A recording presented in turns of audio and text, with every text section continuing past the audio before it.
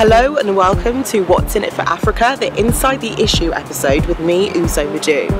It's the start of a brand new year and we're going to look into the EU's political priorities in 2016 and also seek to understand what African leaders want from them. So we headed down to the Council of Ministers meeting for the African, Caribbean and Pacific group of states and we asked African leaders what should the EU's political priorities be for 2016?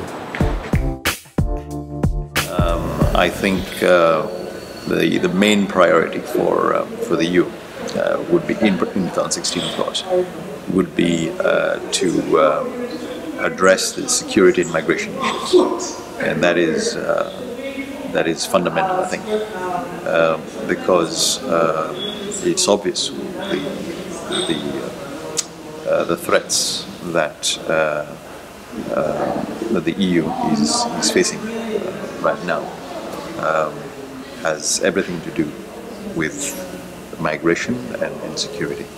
And I, I, would like to link migration and, and, and security with development. Right? Um, it is important to to address the root causes, you know, of insecurity and the root causes of insecurity leads to migration. As well said. If we are able, if the EU is able to work with the with us, uh, with the regions, with individual countries, I think uh, that would go a long way towards addressing this, this major uh, priority, which is a major concern uh, for Europe. So it is important that uh, we look at what we have achieved during the Millennium Development Goals and then now going into a new era of the Sustainable Development Goals. And then also for the ACP, we have the Cotonou Agreement which is ending in 2020. So again, the UN uh, uh, development goals, which are sustainable, will just move into this uh, starting of the new era after the Cotonou Agreement. So we are looking at the European Union uh, with their support uh, to the development uh, of Africa, Asia and Latin America. Mais je voudrais dire qu'au niveau euh, de l'Afrique, il y a des priorités. Et les priorités sont d'abord celles qui concernent les bases du développement. Nous avons besoin au niveau de l'Afrique des infrastructures de base pour soutenir euh, le développement économique.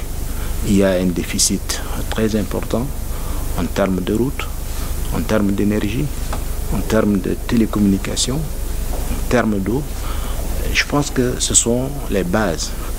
Il faut également euh, aider l'Afrique ou le groupe ACP à pouvoir transformer ces produits.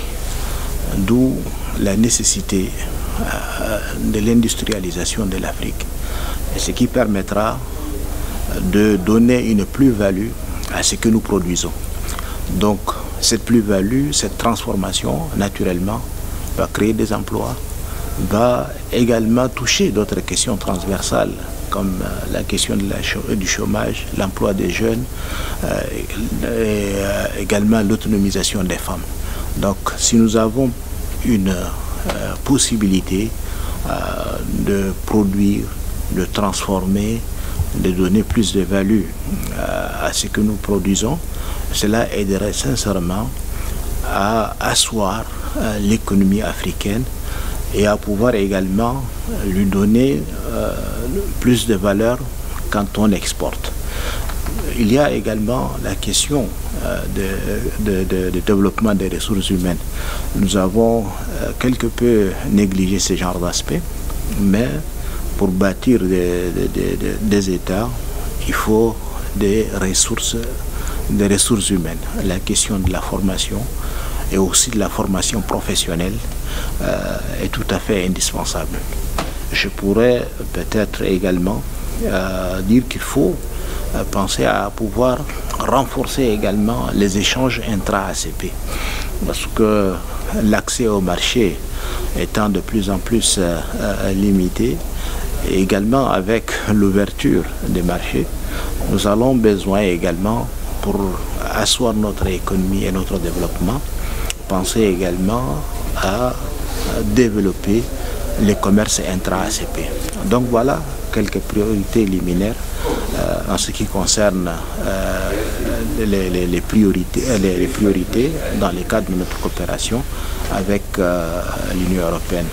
Et cela veut dire que nous avons besoin de développer le secteur privé, qui est en fait le, secteur qui contribue le plus au développement de nos économies.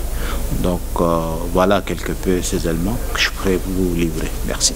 Je vous remercie. Le Gabon est, un pays membre du groupe ACP. Le Gabon croit beaucoup en ACP et euh, aujourd'hui nous sommes à quelques années de la fin de notre relation, surtout de l'accord de Cotonou qui nous lie à l'Union européenne, c'est-à-dire euh, en 2020. Et nous n'allons pas attendre les bras croisés. C'est pour cela que nous voulons, nous voulons être visibles et nous pensons déjà à cet avenir des ACP oui, je voudrais surtout parler de la République démocratique du Congo. Euh, il est vrai que le partenariat euh, entre l'Union européenne et la République démocratique du Congo ne date pas d'aujourd'hui. Euh, depuis 2014, ils ont signé un programme dans divers secteurs. Il y a un contrat financier de l'ordre de 620 millions euh, pour la période allant de 2014 jusqu'à 2020, notamment pour la gouvernance, la gouvernance euh, qui inclut aussi les questions sécuritaires, la défense, etc. Il y a la santé qui est prioritaire euh, pour nous, pour le gouvernement de la République du Congo. Il y a les infrastructures qui est très important pour nous, les routes, notamment la route qui relie euh, de, allant de l'ouest jusqu'à l'est, euh, à l'Afrique australe. Il y a également le problème de l'environnement qui est aujourd'hui un problème majeur pour la sauvegarde de, de, l'humanité. Donc voilà, grosso modo, le programme qui sont mis entre euh, l'Union européenne et la République démocratique du Congo.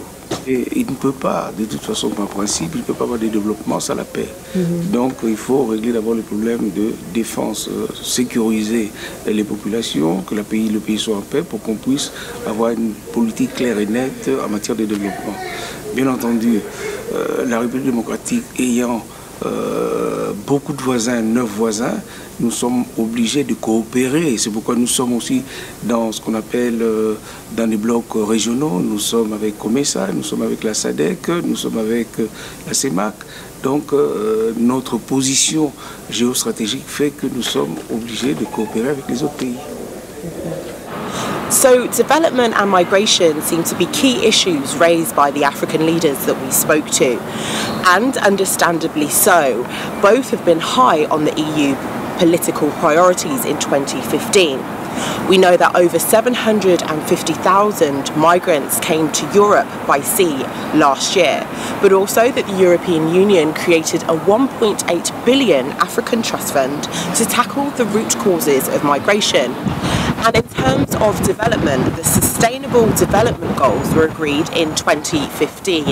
Now, these go even further than the previous Millennium Development Goals in seeking to eliminate rather than reduce poverty and disease.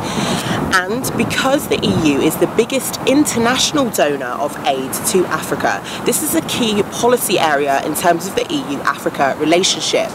But this is not all of it. In terms of development and migration, both of these issues do not have a firm, legally enforceable basis. So let's look ahead at 2016 at the market shaping policies still to come.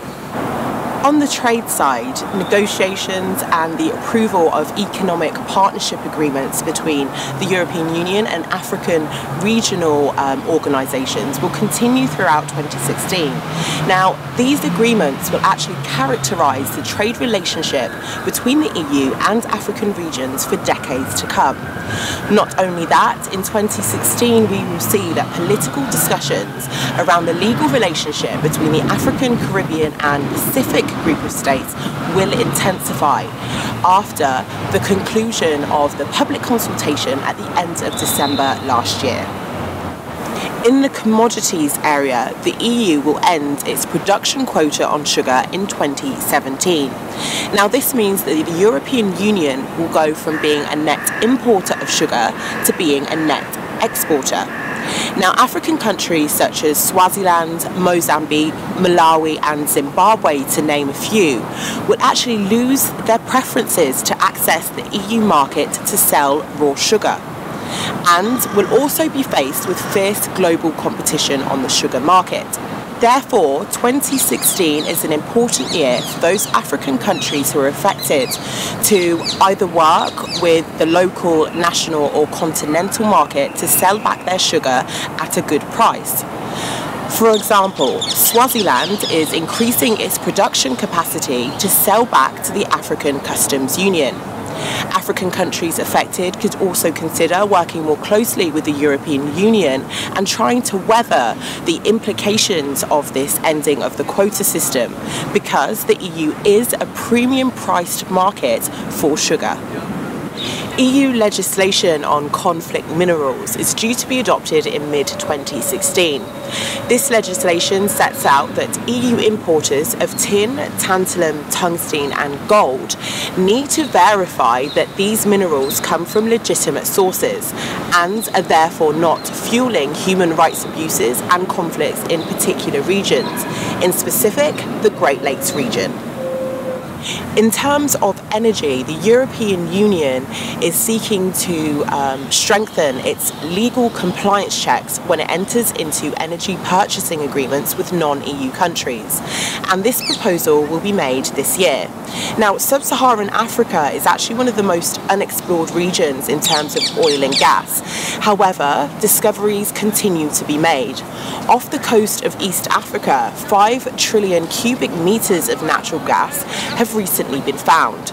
And also, Nigeria is exploring the strong possibility or likelihood of the presence of hydrocarbons and gas just off its shores. Now onto agriculture. EU member states need to implement revised rules on biofuels by 2017. The new legislation wants to move away from food-based biofuels and increase the production of those produced from waste or plants. The reason for this is that the EU has some environmental concerns about the credentials in terms of environmental impact of food-based biofuels, but also the ethical concerns around using food for fuel. Now, several African countries, including Nigeria, the Democratic Republic of Congo, and Mozambique, have increased food based biofuels production in their countries due to EU policy. This is because EU policy mandates that their renewable energy target should be made up of a percentage of biofuels. So therefore, in 2016, it will be important for African countries to discuss with individual EU member states to ensure that they can weather the storm that is about to hit due to a change of biofuel policy. So that's it for this episode. As you've heard, there are plenty of issues on the EU's agenda for 2016. And with the helping hand of the What's in It for Africa team, we will guide you through these and much, much more in 2016. Thank you for watching Inside the Issue. Until next time, remember to subscribe to our YouTube channel, follow us on Twitter, and like our Facebook page. It's been a pleasure. This is What's in It for Africa with me, Uzo Madu.